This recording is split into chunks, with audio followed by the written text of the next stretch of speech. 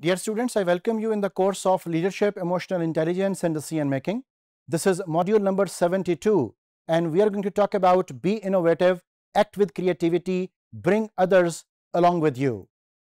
When we talk about bringing others along with you, no doubt we are focused upon the four domains of our life, which are work, our profession, which is related to the work, then the home, then the community, and then ourselves. Now, talking about that what ifs and other contingencies are prevalent in our life. Remember that there are sometimes resistances you have to face when you talk about bringing in some change. And those resistances are no doubt in terms of your relationships.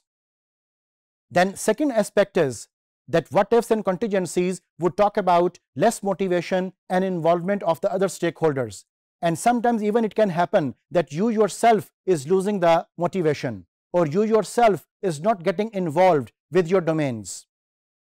The third thing is that sometimes uncertainties prevalent in the environment is actually stopping you to contribute constructively. Those uncertainties are creating distortion in communication. Those uncertainties are there to bring about difficulties for you to involve yourself, to engage yourself with your domains in more constructive way. So we have to get in the game and how to get in the game for that we have to do one exercise. This is exercise number 16. The exercise number 16 is basically talking about getting in the game and the key words are act, adjust, act, adjust. Why do we need to repeat this thing? Because remember one thing that our actions are directly in proportional with our adjustment and our adjustment is directly in proportion with our action. And likewise, this is a never ending game. It always goes on. You always need to improve. You always need to come up with adjustments because unless and until you don't learn to adjust, there would be certain compromises along with the regrets waiting for you. So now that you have done completed your game plans and the scorecards in the previous exercises, remember it's time to start moving and bringing your ideas to the reality of your world because that reality of the world is more important as compared to, compared to your idealistic approaches. So begin to act on your plans because those actions are now used to be in the mind and we have to bring those from the mind, from the tacit perspective to the explicit perspective.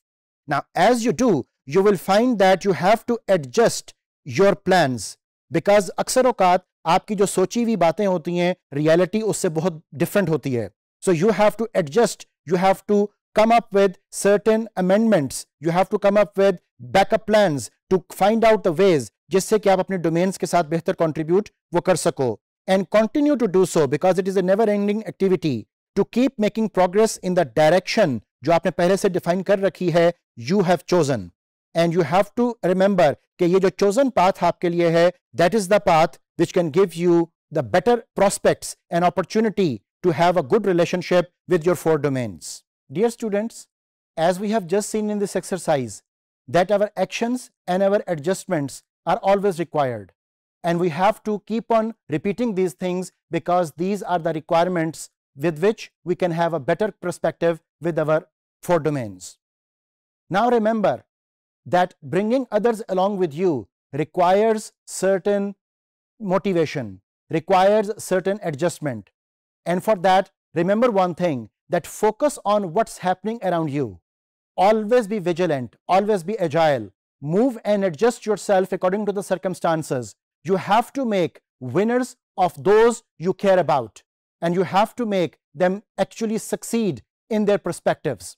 And sometimes for that, even you have to go for certain sacrifices in your life as well. Dear students, if we conclude the whole discussion, remember that when we are focusing upon our four domains, we have to be careful, we have to be cautious, and we have to make others win. It is going to be a win-win perspective between yourself and between your domains and that would be the actual success which you can have in your life. Thank you.